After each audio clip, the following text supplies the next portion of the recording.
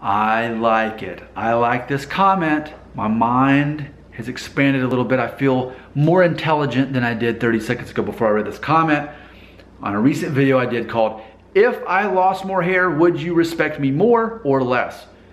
Someone with the name of Read and Then Delete Me had this to say, quote, Would I respect you less if you had less hair?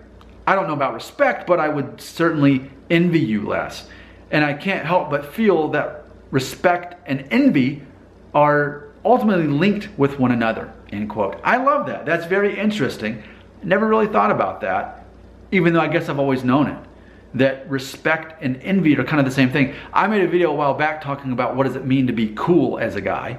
And ultimately that was part of the definition of being cool, is that if someone's cool, there's something they have that you sort of envy and aspire to have.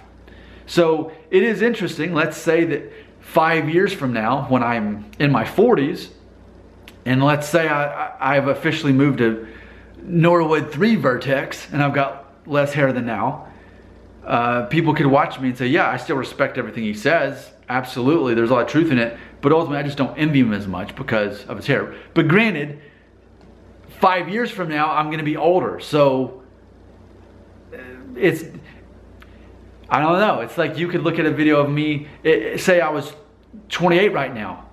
Well, I'd have Norwood 2 and no thinning, you know? So the older I get and the amount of hair I still have still kind of carries on that same concept. So I do think that's definitely interesting that while there's so much alike, respect and envy, there's a bit of a Venn diagram and ultimately you still can separate the two.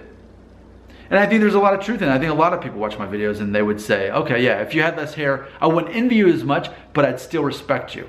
You know what I respect? That comment. That's awesome. I like it.